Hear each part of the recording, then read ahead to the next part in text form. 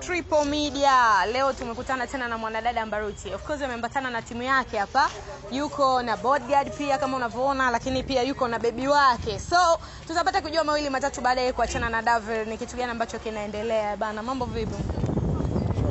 Nakuaje amba? fresh Naona maisha yanaendelea baada ya kumtema Davil. Nini hasa sababu ambayo imekufanya mpaka kuachana na Davil na kufuata mambo mengine? usariti mwanaume malazi mwezi Mwanaume malaya. Wewe ulipata uhakika gani kama ni kweli alikuchiti? nilimfumania Ulimfumania ama ulifuma message?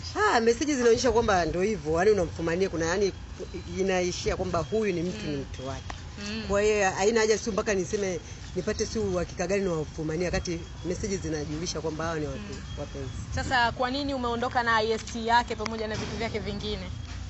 sio vyake vyangu Wakati nakuja huku nimeongea naye na akaniambia kwamba anakutafuta na arabi yako. Wewe umejipangaje kwa hili? Popote atakapokukuta uh, anakuanzishia vagi. Sasa wewe umejipangaje? Simuogopi. Au ndio sababu ya kuweka bodyguard?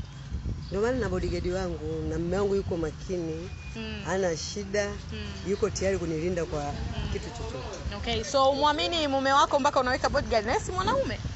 Ah, hataki kuchafuka. Si unajua kuna mambo mengine mume wangu hahitaji kuchafuka. Ndio maana tumemweka bodyguard. Of course leo tumekukutana na wewe hapa huko kwenye duka kubwa sana la nguo na naamini mpunga upo sasa hivi na ndio maana umeweza kupata nafasi ya kuja kwenye duka kama hili. Unataka kuniambia ni mziki wako unakulipa au baby daddy naye hapa anatia ana- ana- anatia mkono wake? Baby wangu ndo ananiwezesha kwa sasa. Okay. Yeah. Sawa, ukiachana na mziki sasa hivi unafanya shughuli gani nyingine maana umekuwa kimya sana? Yeah, na mambo mengi kama hivi niko busy na bebe ameniambia nitulie kwa ni relax nisijihangaishe. Nile kwanza pesheni kidogo na yeye. Tusimsumbue sana baby daddy. Mimi ningependa kujua anafanya shughuli gani baby daddy. labda ajibu mwenyewe. Baby daddy una, unapiga issue gani mzee baba? Ah, mwanamuziki napiga muziki vile. Na unapiga muziki ah? Uh, usha release ngoma yoyote au labda una mpango gani? Mipango ziko mingi. Ah, 2020 kwa Yeah. Tanzania wataniona Yeah. na dunia nzima watajua. Sawa. Apart from music unafanya kitu gani kingine? Mziki tu. Mziki tu ya. Ndio unakusababisha wewe kuweza kupata pesa za kumhudumia mwanadada hapa na kufanya mashopping kama hivi.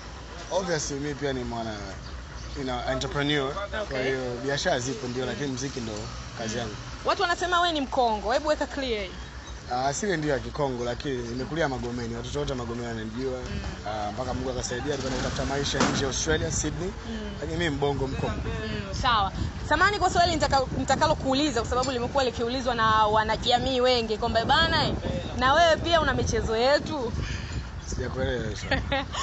Watu wanauliza hivi, vile vitu vilivyokuwa akivifanya Davila ambavyo vile, spread kwenye mitandao ya kijamii eti na wewe ni umo? No comment. No comment ya. Sawa. Ukiachana na Mbaruti ushawahi kuwa labda na mke ama nini maana tetesi zinaanza kutembea tayari kwa sababu sasa hivi tayari ushaanza kuwa star na nini. Watu wasema bwana bwana alishawahi kuwa na mke na nini. No comment. No comment. Ambaruti una nini cha kuzungumza kwenye hizi no comment kwamba anasema kwamba kuhusiana na mke no comment. Una nini cha kuongea? Ya najua kwamba mm, mume wangu mtarajiwa hajapenda kuweka public kwa leo ndio maana ameweka privacy ndio maana akasema no comment muda wake ukifika ataweka public Sawa. Bodyguard wako unamlipa shilingi ngapi kwa siku? ananilipia baby sijajua anamlipa shilingi ngapi Baby daddy wa Mbaruti. Bodyguard analipwa shilingi ngapi? No comment. Eh bana, hapo ni Ambaruti, lakini leo ameambatana na mume wake mtarajiwa hapa, lakini pia yuko na bodyguard. Yaani jinsi gani maisha ambavyo yamekuwa mazuri, na tulikuwa naye hapa bwana kwa Frank Nauzi huko, amekuja kupiga shopping. Asanteni kwa time yenu jamani. Asante sana.